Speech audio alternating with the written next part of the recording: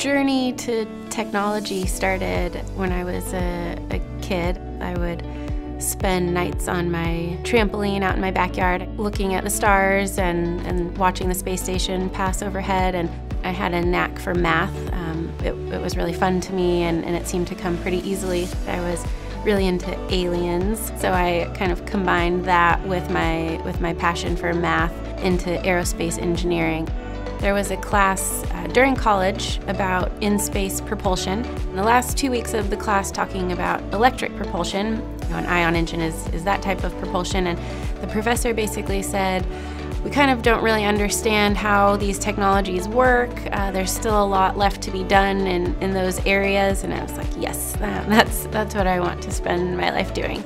Uh, so when we first started the company, we had a hunch that there would be all of these very powerful applications, but now we're seeing them actually come to life. For example, small satellites being able to provide broadband internet access to everybody on the globe, and working on a technology that can help enable that is, is extremely rewarding.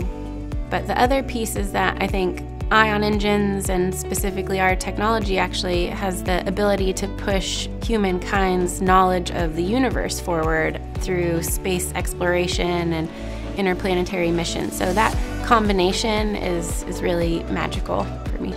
So right now I'm involved in, in two or three main things. The first one's called Youth Cities.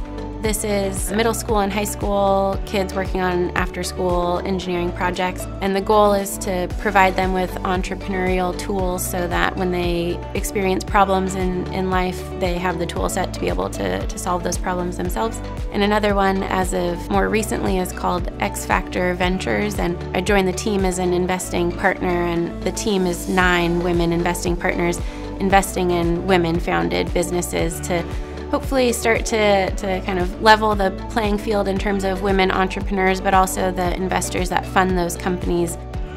I'm really honored to be the inaugural recipient of this award, and it feels really great to have recognition for the time put into mentoring other women in the field and, and doing the technology work. I think the playing field is going to continue to become more and more level for, for women to go into technology. And so having this exposure to other women that are in those roles and, and finding success and sharing their journeys, I think is probably the most critical way to get young girls to realize that it's possible.